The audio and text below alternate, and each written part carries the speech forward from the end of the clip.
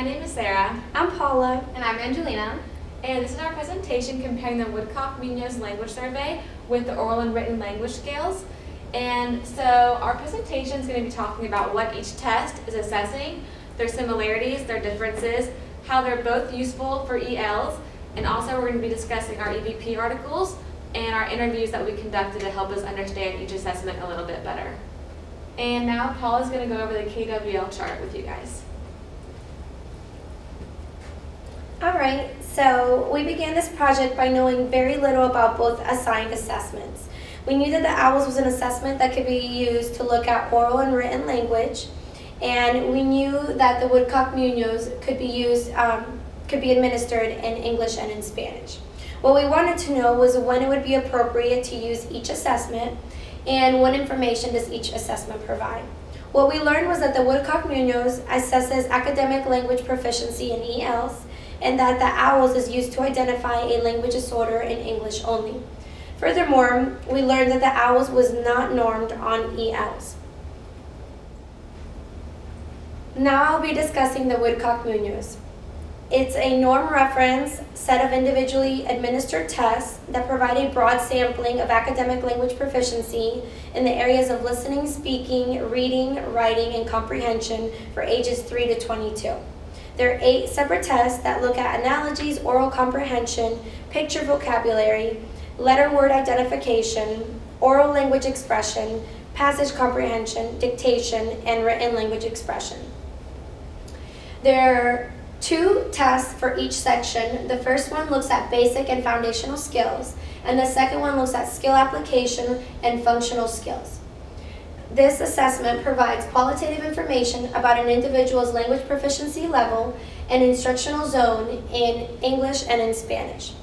Furthermore, it can be used to evaluate the effectiveness of language programs such as ESOL and help determine eligibility for EL services.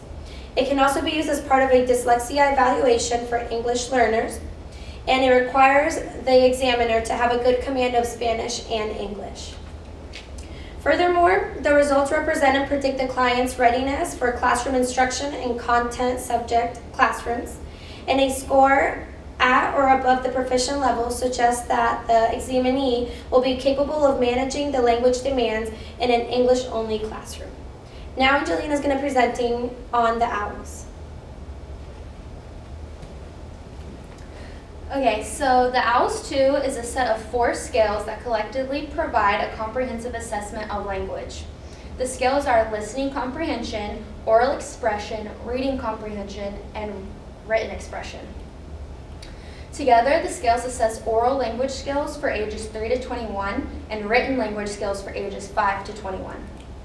Each scale assesses the following four areas equally lexical semantic, syntactic, supralinguistic, and pragmatic. The OWLS 2 identifies students with learning disabilities, language disorders, and related difficulties in accordance with IDEA requirements. And now Jenny's going to talk to you about the similarities between the two assessments. Okay, so as well as differences, uh, these tests also have some similarities. They both measure and identify characteristics of language. The Woodcock-Munoz measures language proficiency, and the OWLS measures um, language and if the client has a language disorder. And they both measure listening, reading, writing, speaking, and oral expression. They also both predict academic difficulties and can be used to monitor progress with the client. They both are norm referenced and they also both have an online scoring system. And now Paula is going to be discussing more about the Woodcock-Munoz with you guys. All right, so I will be discussing the differences between the English and the Spanish protocols in the Woodcock-Munoz. As you can see, these are two items from each protocol. However, the questions and the items are not the same. As you can see up here, these two pictures are representative of the clusters. So two, um, a couple different subtests make up one cluster, and then one cluster gives you a specific score pertaining to that language area.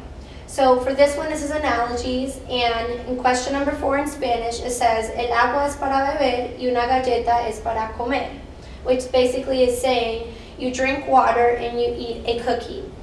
Now, question number four in English says, you eat with a spoon and you cut with a knife.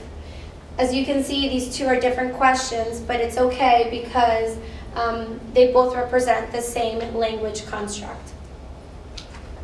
Um, both English and the Spanish protocols assess each specific area using the different items that are culturally relevant and current and that represent contemporary a, a contemporary understanding of the measurements of listening, reading, and writing constructs.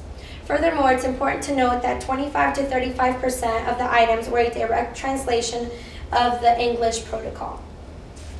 A few important notes regarding scoring. Um, SLPs really want to pay close attention to the Relative Proficiency Index score because it predicts quality of performance on similar tasks.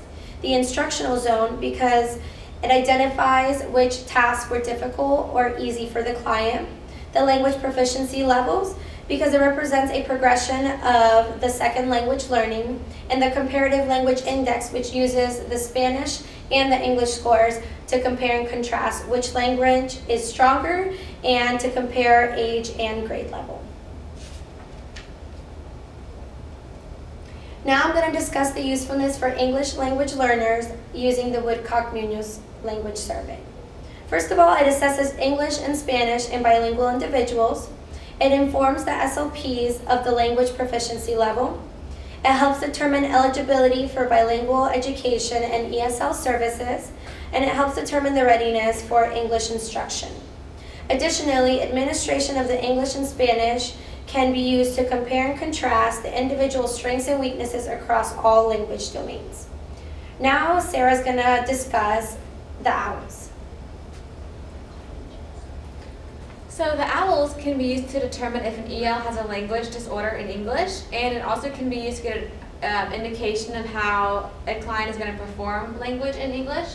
It also can be used as part of a dynamic assessment, which could include a language sample and a full battery of Spanish assessments, so the clinician can compare their performance in English and in Spanish. And it also can give clinician an idea of their reading and writing skills in English, um, which can help them with their overall assessment. And down here is a little screenshot we have from the OWLS. And over here are the four scales. And in the middle part right here, it talks about the um, process of, administ of administering each scale. And over here it talks about the item format for each scale. And now Angelina is going to be talking about the EBP for both assessments. Okay, so there's no research out there on the new version of the Woodcock-Munoz, so I chose an article that is on the revised version of the Woodcock-Munoz. And this study focused on bilingual children's performance on the English and Spanish versions. Um, they used Spanish speakers of the Cuban, Puerto Rican, and Mexican subcultures. They found that the Spanish version functions equally across all subcultures. But the English one, there's actually a bias for the Mexican subculture. So they concluded that the Spanish version is appropriate for young bilingual students living in the United States who are of those three subcultures. Um, the article for the owls I chose is, um, it's not about the owls because there's no research on the owls being used for ELs. So this one focuses on things that the owls would address. Um, so this one assesses the identification accuracy of dynamic assessment of narrative ability in English for ELs. And they found that a dynamic assessment conducted in English is clinically useful procedure for identifying language impairments in bilingual children who are in the process of learning English as a second language. So now Sarah is going to talk to you about the handout. So this is our handout that we made that talks about both assessments and it compares them and it talks about how they're useful for English learners. Um, so over here it talks about the different subtests for the Woodcock-Munoz and then down here are the different scales for the owls. And then right here in the middle we have their similarities and their differences. And on either side we have how they're both um, appropriate in the assessment of English learners. And in addition to creating a handout, we also conducted two interviews with SLPs about both assessments.